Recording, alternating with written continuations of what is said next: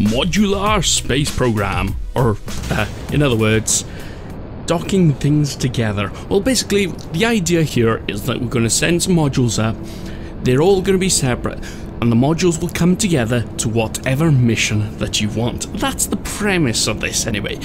I'm not sure how it's going to work out. I'm going to do a basic one where we're going to do a moon landing, I suppose. That's the easiest bit.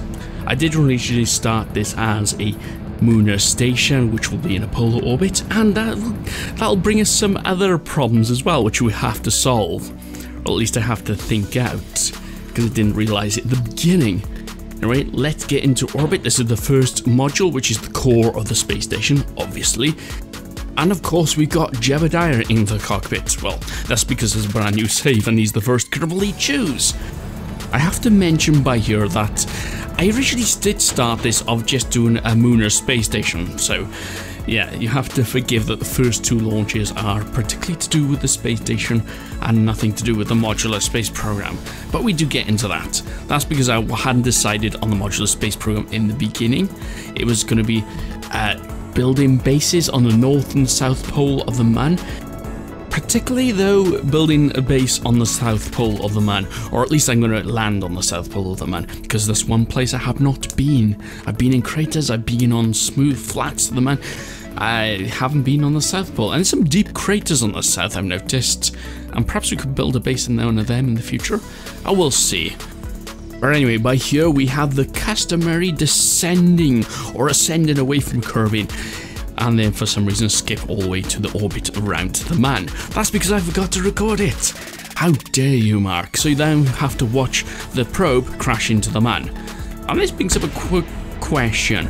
Apparently, some of the uh, Apollo missions, they had their modules, the transfer rockets as they're called, crash into the Mun, but the first early ones went into interstellar, no, interstellar space, in interplanetary space. In other words, they're in orbit around the sun, not in orbit around the moon Earth system.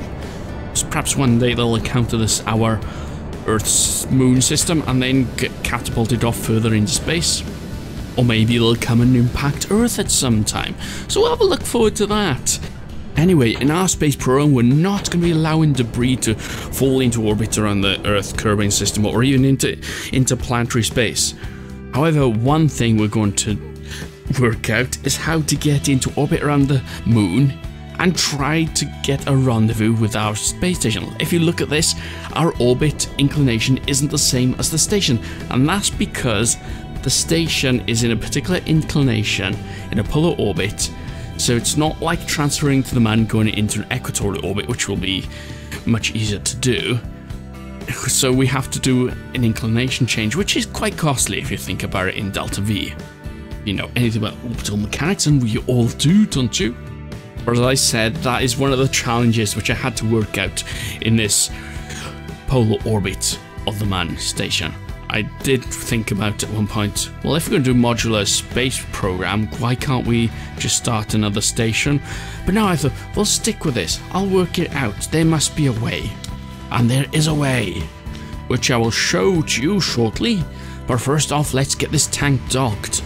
Basically, this module is to refuel anything that comes and docks with the space station, uh, bases, um, landers, and whatnot.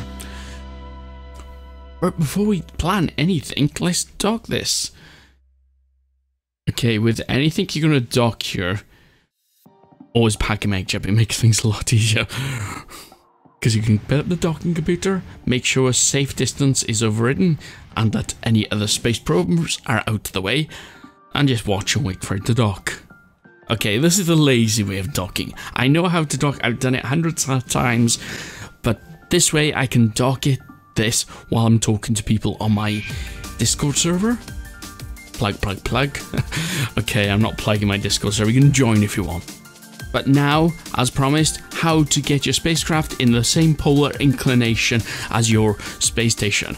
As I just shown by there, you match up the shadows on the moon and Kerbin exactly like that in the map view, and then you launch. But preferably, check your staging first. yes, a mishap which I included in the video to show that I'm not better than anybody else. And even Master Kerbal Note make have problems as well.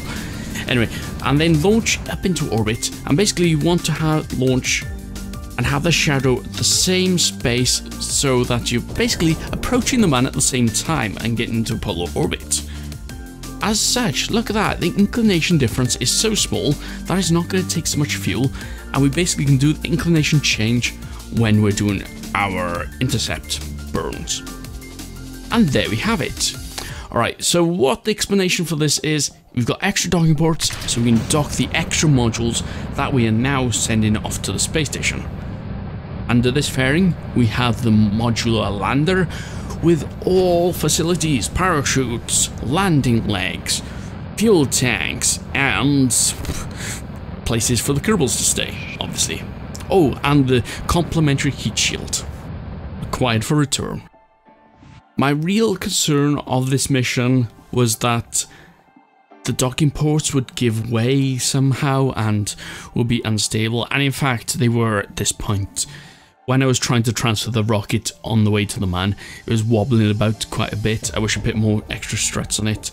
Suppose you could put or en enable the auto strut system but this is what I like about the modular space system, is that you can have a MechJeb on each module and then you can have them dock. And the way to do this is have the docking program open on MechJeb, set it to target docking ports, let it auto dock, and then change your the spacecraft you control into another spacecraft. Now the thing you can't do is swap back to the space probe that is already auto docking. That way seems to end the docking program and then you have to manually re-enable the automatic docking. Which I found weird. I'm not sure if it's the same on 1.1, 1.3.1, but it was originally on 1.2. Not sure if it was a bug, or it was a bit of an annoyance, especially when you were using the keys to swap programs. The way around this I found was using EVS or Easy Vessel Switcher, which is basically when you've got that mod installed, you hold down Alt, point the mouse at the spacecraft you want to control, click your mouse button, and hey presto, you have changed the spacecraft you're going to control. And I find that a lot easier than using the bracket keys to change your spacecraft. I don't know why it's not uh, stocking the game. Anyway, as you can see, each module has its own RCS tanks, RCS thrusters, MechJeb control unit, batteries for make sure that I got power when on the dark side of the sun. And um, the dark side of the sun, dark side of the moon. There is no dark side on the sun. And also, you have solar panels. Basically, you have everything you need for control. Docking ports plus required.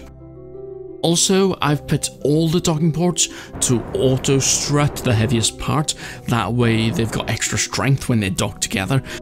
Because I don't know if any of you guys notice, when you're building a space station, when you're docking things together, they seem to get a lot wobbler. The Kraken seems to be much more engaged in destroying your spacecraft and everything. But it looks like we've survived so far. And we are coming in for landing. Now I've made a bit of a mistake by here. I thought this was flatter than it actually was. I was trying to tip over towards and thrust towards a flatter land landing spot, but it appears that I turned the wrong way. Yes, it's hard to know your orientation when you're just looking at the spacecraft view rather than have pull. Anyway, we've landed, and look, we have our new DAS on the moon. we got our new DAS on the moon, yo! Yeah, new DAS was here. I don't know why, but this Kerbal I found really hilarious. Anyway, the biggest problem here is how do we get off this moon? If any of you had this problem where you've landed on the moon or anywhere you've tipped over, you have to get upright to try the thrust. But the best way to make sure that you can is make sure you're on inclination, I suppose. Thrust. Will we do it though? Because what I'm trying to do is go a bit further down, a bit more of an inclination on thrust, and tip upwards. Perhaps if you've got landing legs, use them to tip upwards, but we made it. Awesome stuff. Now all we have to do is go and rendezvous with the space station, swap the modules out so we've got the heat shield for return to Kerbin. One thing I neglected to add to this modular space program is a rocket engine without landing legs. That way we could have left these landing legs on the space station for future missions. This is one good thing when you're testing new concepts like this. I'm not sure if anyone's done this concept before, a modular space program, where you can build spacecraft to your heart's content.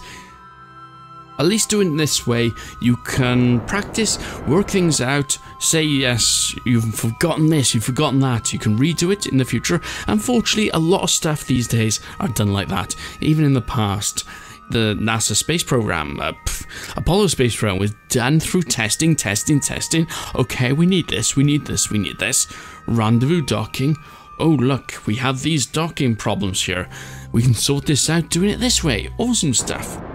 In other words, games like Kerbal Space Program teach you that you can learn by failure and redoing your stuff and trying again. It's not the end. Or is it? We still have to return our Kerbals to uh, Kerbin, and we're still unsure that the heat shield attached to the docking ports will survive. They probably would, but you never know. And you're probably sitting there thinking, well, yes, of course it'll work. We all know it works, we all know science, but if you think about the past, people in the past, when they saw the trains, for the first time could go faster than 30 or 40 miles per hour.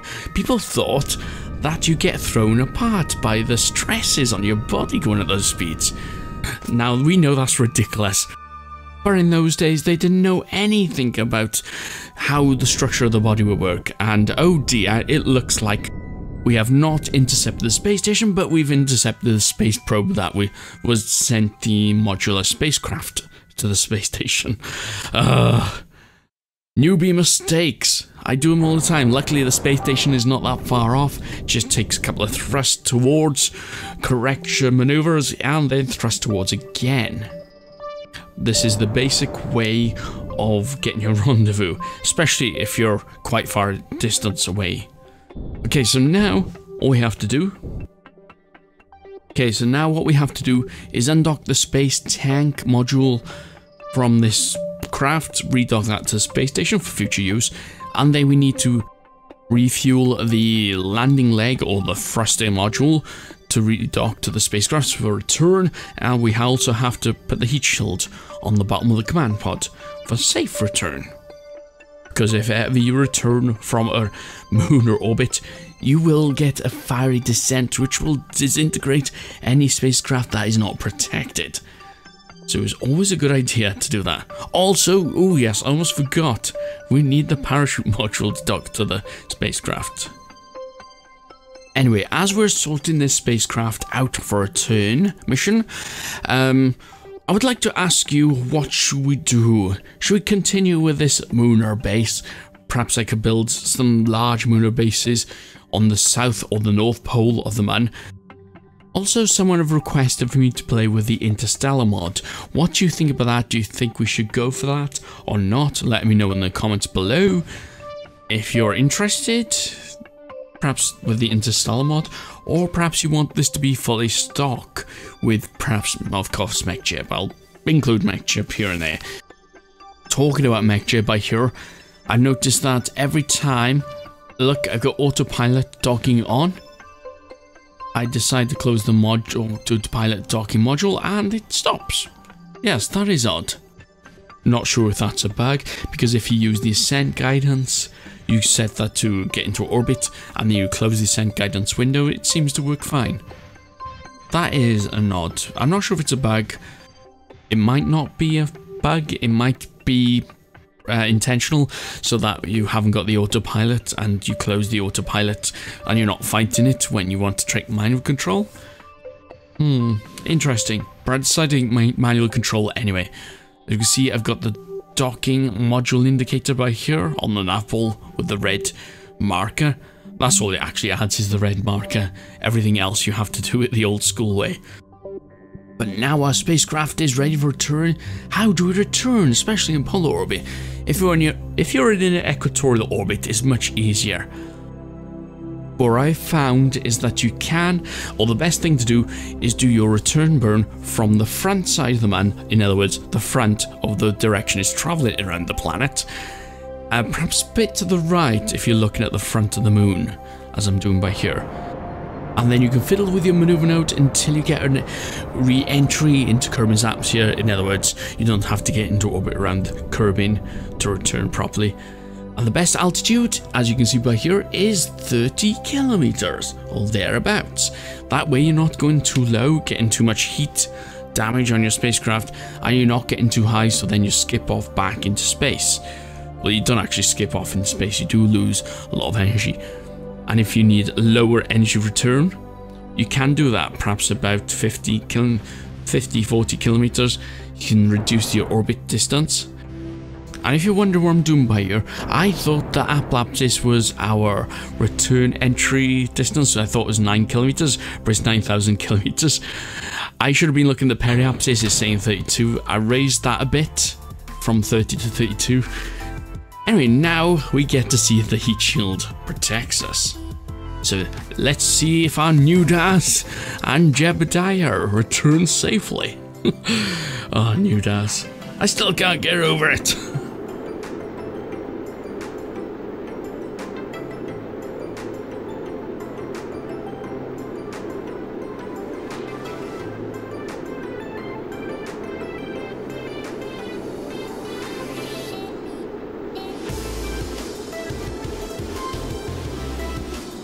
Okay, so things are looking good. We have finished the re-entry hitting. Now all we have to do is make sure that the parachutes survive. Okay, semi-deployment. It hasn't torn the docking ports apart. I've undocked the bottom module. That may be a mistake. It may come and hit us back and hit us. Unless the parachute's open in time. I'm not sure. These were the unknowns, these were the things that I had to work out and see if they worked. And I thought I'd bring you guys along for the ride, basically because I didn't have time to test it out and then redo it after. But they survived the fall opening. At least the docking ports, I know the docking ports will survive the opening of the chutes.